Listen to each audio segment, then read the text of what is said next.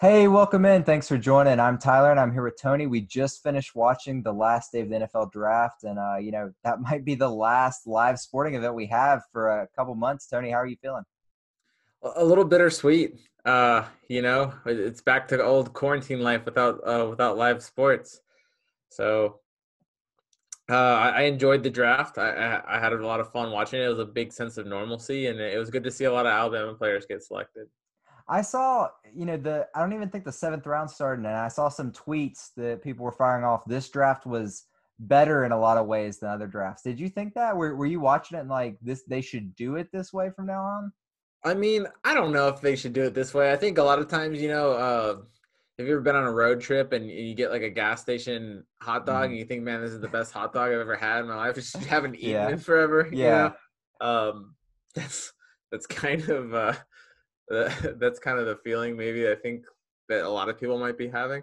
I do think that the draft ran better than mm-hmm. expected, mm-hmm. and I think it, you know it was it was a definite success. But I, I don't know. I I'd have to go back and watch another draft the mm-hmm. old way. It just seems like you know. Mm-hmm. Um, I was I left the draft happy, and I think that that's what you should leave the mm-hmm. draft. You know, it, it should be you know there wasn't any everyone talked about the glitches or the, the mm. technical difficulties. There wasn't that. It was it was a pretty yeah. you know smooth draft, and I think Roger Goodell handled it pretty well. And sh- there was hiccups here and there, but it almost kind of made it charming in a way, mm. you mm-hmm. know. And it's, it's kind of felt like we were all in it together, just trying to get through it and trying to make it work, and it, and it did work. Yeah, I just I can't get over that analogy. So this draft was like a gas station hot dog. I sure, I guess you could say that. Yeah, a good gas station hot dog though. Um that's great. Uh, yeah, you know, I agree. I, I think there were times when I honestly forgot that this draft was different, especially when you get to day three. I think, uh, you know, it's easier to sort of just be like, oh, this is a normal draft. I'm just watching, you know, they're six picks behind uh, in their commentary. And, and, and you just can kind of like forget it. It yeah. was definitely more noticeable in the first days, first two days. But yeah, I thought it was good. It was fun to watch. Um, you know, by the time y'all are watching this, uh, everyone will probably have clear updates on these guys. But obviously, you know, uh, we I think expected at least one or both of Shyheim Carter and, and Jared Mayden to uh, get selected somewhere today. So that was a little bit of a surprise that uh, both missed out. Yeah, and and Jared Mayden signed as an undrafted free agent with the San Francisco 49ers. So he's got a good fit right there.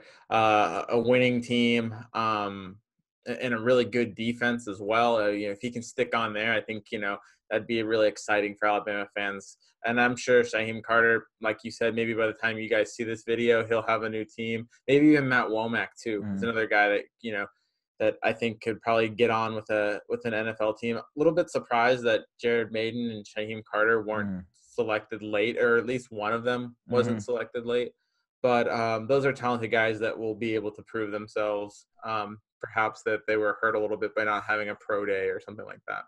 Yeah, I, and I have to think that absolutely, especially with Mayden, um, probably did negatively impact you know his draft stock just because he didn't really have the chance to show anybody. Um, but sort of to move on, you know, obviously we just finished the draft, uh, and that made us sort of think about you know what what guys could Alabama be sending to the NFL next year? Who could we be watching and writing about a year from now? And uh, you know, Tony, you sort of put together this list of uh, Alabama guys that could go in the 2021 draft, and, and that's our 20 for 20 uh, topic today. So let's just sort of start off. Who do you think is the top guy that could sort of go in the first round next year? I think Jaylen Waddle, and when you look at how this draft played out, you've got to feel really mm-hmm. confident mm. for him. I mean, you saw Henry Ruggs be the first pick of the first wide receiver taken, and and Jaylen Waddle kind of compares, you know, really similarly mm. and, and actually favorably to, to Henry Ruggs. Just I like his playmaking ability once he gets the ball. Uh, I think he's elite, you know, in that level. And then he matches Henry Ruggs' speed. I, I wouldn't be surprised if he also runs a four, uh, a sub four three forty, um, in, in the NFL Combine. And then he has all this, you know, hype around his name in, in terms of you know speed and, and, and measurables and he's going to catch the same amount of passes mm. as you know Ruggs did he's got really good hands like i said great playmaker he also can contribute in special teams as well so he's a guy that I think you know I, don't need to tell any Alabama fans how good Jaylen Waddle is. Um, DeVonta Smith too. I think you know Alabama had never had two receivers taken in one draft um, before before this weekend, and now they're going to have it in back to back seasons, barring any dramatic surprise. I, I, think both of those guys are surefire first rounders, um, and, probably surefire top 15 guys if everything plays out the way that we think it's going to play out. And on the defensive side of the ball in the first mm. uh, in the first round potential, I think you know you look at a, a Dylan Moses and I think you also look at a Patrick Surtain the second. Those those guys are going to be the leaders of the defense and I think that you know um, they've got pretty good shots of, of being first rounders. So I think you could see another four players get drafted in the first round. Obviously, things can change. Uh, you know, some people could jump up into that first round range, and these are just my projections. But um, I kind of see it around that four range next year, just taking an early look. Yeah, absolutely. And just sort of looking through your list, I, I do think those probably are the four guys that have the strongest case. Um, just to sort of recap, you have Waddle um, currently. You you project him as sort of a top ten guy. I, I I think that's a pretty good comparison. You know, you bring up the rug standpoint. Uh, just from a film aspect alone, Waddle's probably going to have better film than Ruggs had going into it. So, um, yeah, it's hard to imagine Waddle isn't going to go in the top ten, um, especially because the receiving the the class of receivers in next year's draft. I just can't imagine it's going to be what this year's class was. I mean, this year's class they were drafting guys in the third and fourth round that I was like, that guy's still there.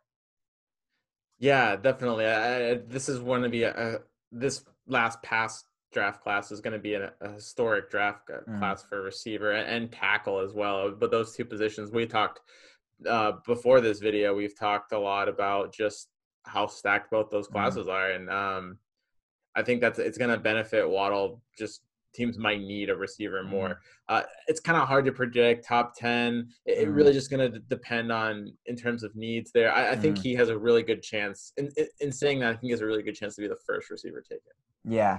And, uh, you know, you, you have DeVonta Smith right there. You know, you have him as a top 15. All the sort of same caveats apply. You know, we don't know how many teams need receivers that are going to be sort of in the top 15 picks, but it, it's hard to imagine DeVonta Smith not being second or the third receiver off the board even. And uh, You're have actually Chase as well from LSU. I mean, mm-hmm. there's there, there will be people out there as well, and I, I have to go through the names to to really go through you know who's going to be out there, but um. But like, yeah, the, I think that they're going. to There's a, it's a talented bunch. I think one of the things maybe you look at the Alabama players uh, is height. You know, they, they don't really have a, a tall guy out there. Mm-hmm. So maybe maybe if there's anything that's going to hurt Waddle, it's the fact that he's not the tallest receiver. Mm-hmm. Um, maybe a team would feel that you know that might limit him, you know, on the on the perimeter. I'm, I'm not sure. Uh, I don't I don't feel that. I think he's a guy that can kind of shift around anywhere. But um, if he does limit himself to only a slot guy, then I could see his stock falling a little bit. Mm-hmm. Still, still a surefire first round pick. Yeah, absolutely. And I actually think uh, after you look at how many guys went in the first round, and you look at like you know CeeDee Lamb, even he sort of fell a little bit in the first round. Uh, maybe DeVonta Smith really did make the the best decision coming back, um, improve some film. Maybe the receiving class is a little weaker, and you know, I mean, if the receive if there's just not that many good receivers, these guys are going to fly off the board even earlier in the first round next year, probably. Exactly. So. Yeah, yeah I, I think he made the right decision. You know, you mentioned two defensive guys. You mentioned Dylan Moses and, and Patrick Surtain. I might argue that Patrick Surtain could be the first Alabama player taken in next year's draft, but I think he has a lot of work to do if he's going to get there. Right now, I think he's definitely got to prove himself. Yeah, I mean, look at it this way. I mean, Minkah Fitzpatrick didn't even go top 10 mm-hmm. for Alabama, and look how productive he was in his Alabama career. So um, I think uh, from a talent perspective, Patrick Surtain's right there. He, he's mm-hmm. got that kind of talent. I think he needs to put it together a little bit more He's, you know, he struggled at times. He's been a little bit inconsistent. I think if he takes that step and takes that, you know, kind of Minkah step mm-hmm. and becomes the defensive leader, then sure, he could be a top 10 pick. I have him just in the first round. I, I didn't give him that top 10 mm-hmm. or top 15 dis- distinction. And the reason why I did that is just because I'm looking to see, you know, some more consistency from from him. That being said, though, he's a guy. I, it wouldn't shock me if he climbed up into those mm. you know, first few picks of the first round next year because he's got that talent. We we've known that since um, since he's came to Alabama. I think mm. he has like 25 starts, uh, uh, you know, in two years. So that that's crazy production, and you know he, he's gotten on the field really quick. And Um, just from a measurable standpoint, he's got everything you want from a defensive back. So we'll, we'll see if he can translate that to the even next level where he you know becomes a real elite cornerback. Yeah, he's just got a bit of you know he's still got to make sort of that leap from really good you know defensive back that Alabama's had to sort of that next level that that all time great that that Minkah and Landon Collins and, and some of these other guys that, that have passed through here under Saban have, have kind of hit their last year. Um, but yeah, and, and, just to sort of let y'all in, I, I kind of pushed back before we started talking and recording. I, I pushed back on Tony's grade for Patrick, but I, you know, he said, look at Minkah. Minkah didn't go top 10 either. And that I completely missed on that. I totally, you know, I thought Minkah was, was like seven, eight, six. And, and thinking back, uh, you know, I remember watching now that Tony points that out. And I remember wondering, why is Minkah still on the board? So yeah, uh, for whatever reason, some of these uh, corners and safeties, sometimes they just stay on the board longer because that's not what teams need. Um, as far as Moses, I, I was curious.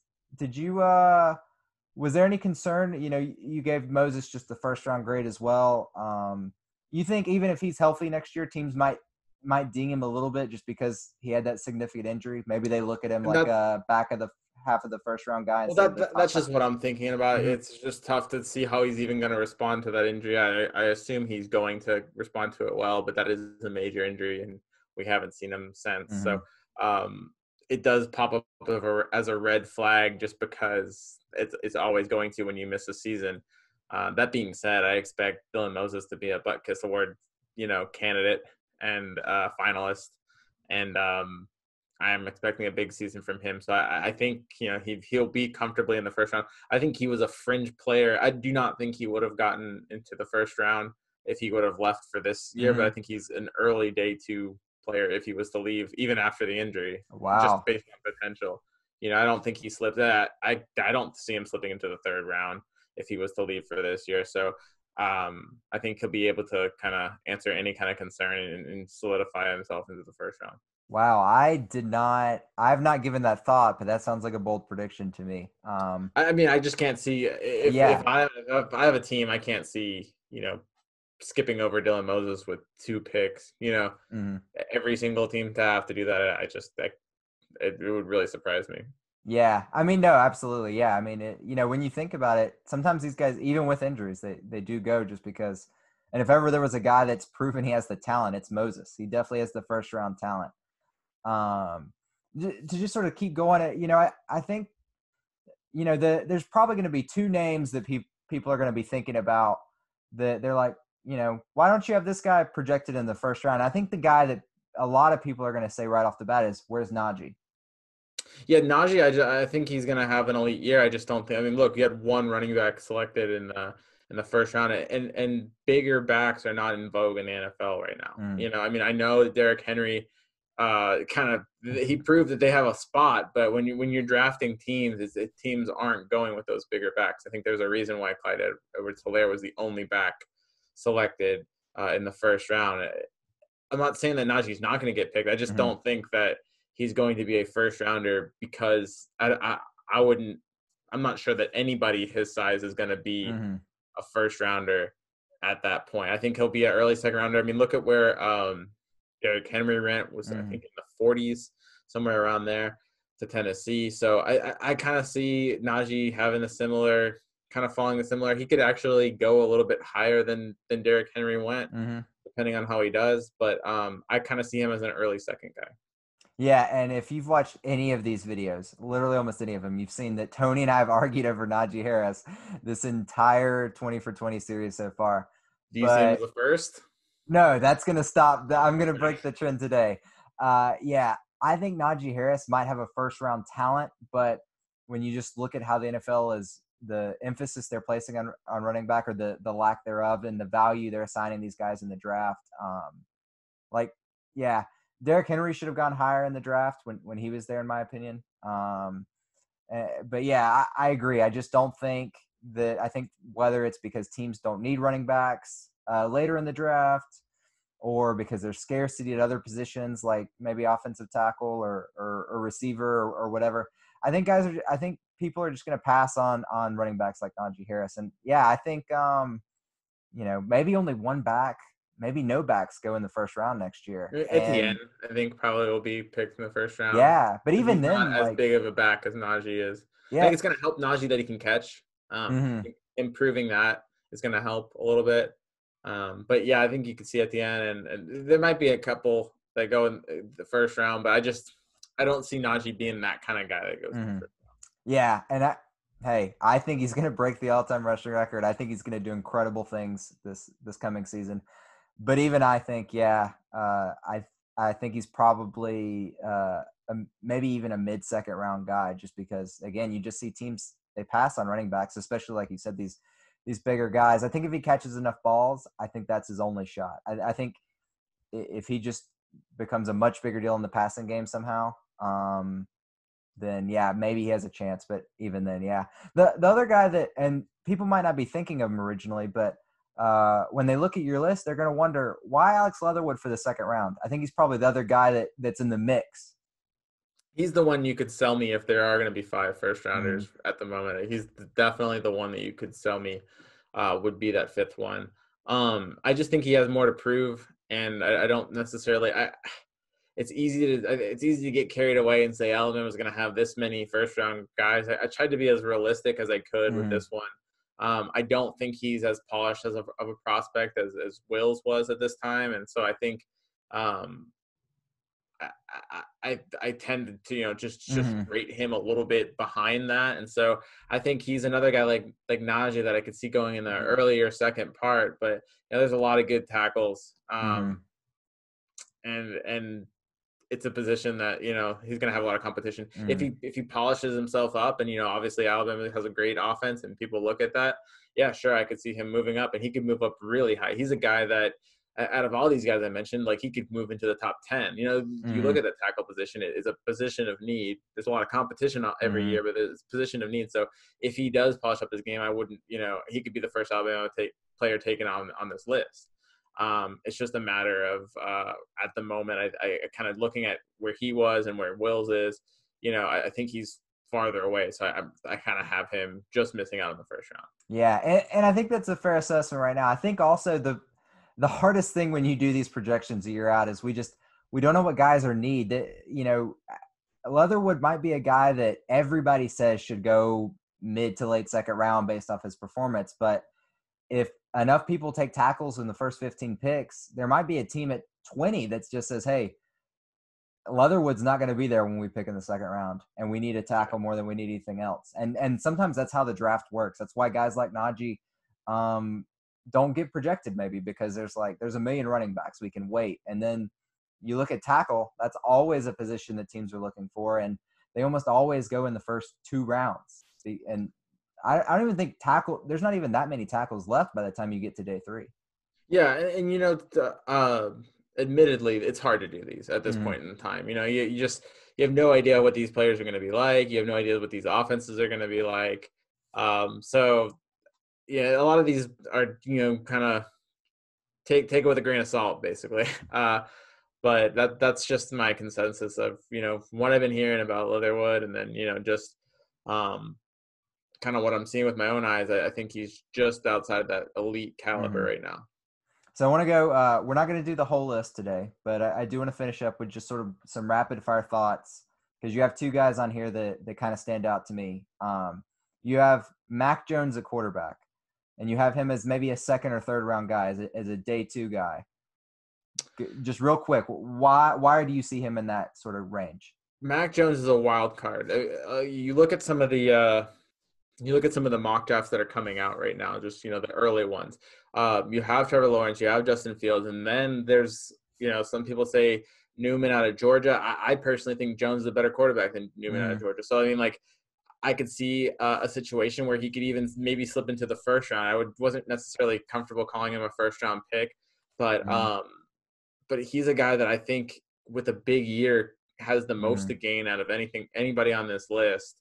Um, and so that's what I that, that's why I put him there. I think you know he's a guy that he might see his grade and be like, I can be a second round pick as a quarterback. I, I might take it, you know. Mm, Um, and then shoot, I mean, he might be a guy that thinks that maybe I could be in the, the late first and and sneak into there. I could see him as being one of those guys that you you you see mocked in some drafts. Maybe he ends up in the second round, but he you know had the possibility of being a first round mm. pick. So um, real interested to see uh, how he plays out.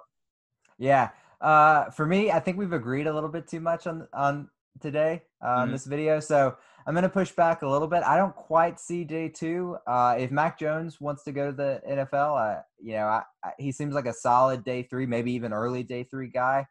Um, you know, we saw a couple uh, big name quarterbacks that, while not the best, certainly proved that they're capable. Um, fall to day three and, and even plummet to, to late in day three today. Um, and I think he's going to be smart about it too. If, if, if there's a doubt like that, mm-hmm. I think he'll come back um, for another year. And he's in a unique situation as well because you look at him, even if, let's just say, um, he's uh, worried about keep, even if he does have a draftable year and he's worried about keeping his uh, spot with Bryce Young, mm-hmm. he's a guy that's already graduated from Alabama, so he could go anywhere he wanted mm-hmm. uh, if that was the case. He's got so many options, and so um, I think he's in a really good spot. So all he has to worry about now is just having that good year and, and kind of, uh, he like I said, he has the most to gain. Yeah, and as Tony and I have said on on our recent for 2020 series, we we do think Mac Jones will probably be the starter at this point. That's where that's where we go, and we think he'll have a good year. Um, Tony thinks he'll have a little bit better year than I think. So uh, that's where we differ here. Um, and then the last guy I just want to mention before we get out of here, you you know you have LaBryan Ray, and you know you sort of have him in the third round right now, which is uh, you know we saw some guys go in the third round for Alabama. Um, you know, we saw Anfernee Jennings and, and Terrell Lewis, I think both went in the third round, right?